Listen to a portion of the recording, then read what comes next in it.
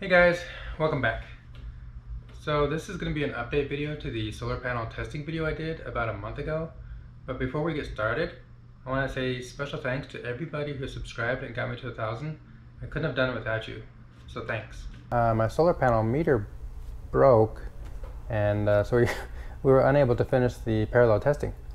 So a couple of viewers mentioned a couple of mistakes that I made in the last video and also pointed out some valuable information that I think everybody could use. So we're going to cover those topics during the video, and I must give credit where credit is due. Special thanks to Larry Wong, 7834, Scooby Blue, 5815, and Mr. Goldenrod, 291. So one mistake was that the two panels that I tested, one was in the shade and one was not, identical panels, but one in the shade and one not. So the output was slightly higher than it should have been because uh, the panel didn't have time to heat up. The other mistake was the meter sometimes is not accurate. So I said that the current was actually higher than the short circuit current, which really shouldn't ever happen. So sometimes the meter is just not right. And the third one was the calculation. How to calculate the rated power versus the real or actual power. So we'll cover those in the video. Enough blathering on, let's get started. So these are the panels we had from our last video. Uh, the one on the left is the brand new one, never used, and the one on the right is the one that's been used for eight months. They've both been sitting in the sun for about, well, a week, because the weather has been bad. But they've been sitting in the sun all morning, and so the temperature should be identical. I have no way to verify that because I don't have a temp sensor, but uh, yeah, they should be the same. All right, so this is the slightly used panel. Let's test that first. And so we're going to pull it a few times just to make sure we get a good test here. So it looks like we're getting a consistent 280 watts. Yeah, we'll just call it 280 watts. Okay, so now we have the brand new uh, 335 watt panel. It's been sitting in the sun for about 10 minutes at this angle, so it should be the same temperature as the other one. Okay, we're going to do a manual pull here.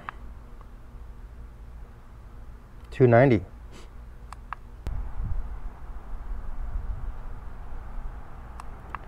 So it looks like it's slightly better, but uh, it's it's negligible. So it looks like the main key factor uh, in the last video was the fact that that one panel was in the shade. I think it's about 10 watts higher than the uh, last panel still. I think we're getting 278 on the last panel, 280. Let's compare the results of the two panels.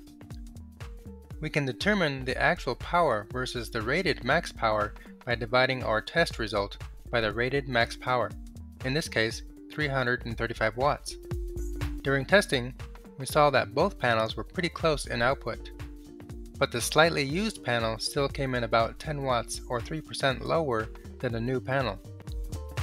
In the last video, we saw a difference of about 20 watts between the two panels. This was because the new panel was sitting in the shade and did not have a chance to heat up before testing.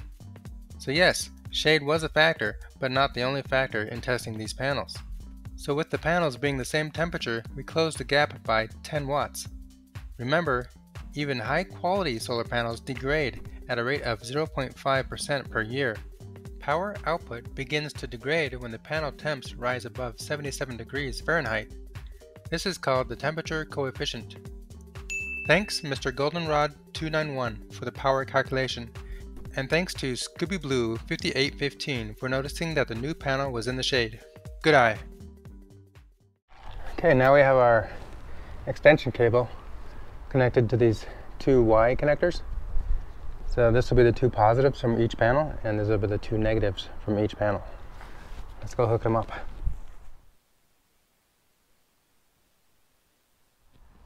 Okay, so now we got both panels connected in parallel.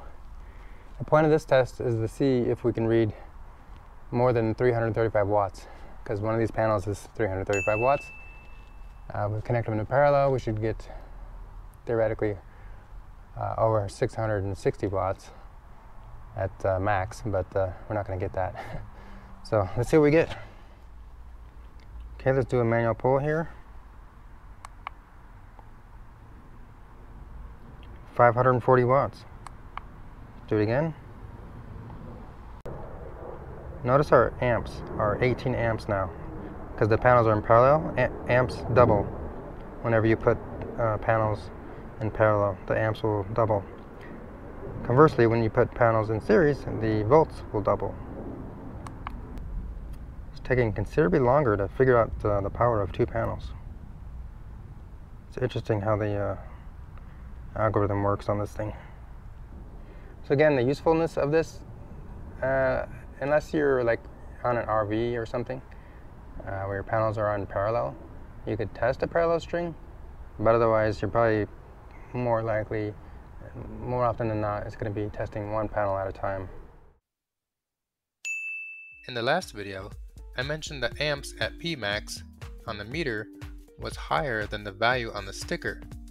This is not accurate as the value should never exceed the short circuit current ISC as volts would be zero at short circuit. Turns out the meter is just not accurate at times and gives weird readings. It's best to press the auto or press the manual button several times to get a good reading. So thanks to Larry Wong 7834 for pointing this out.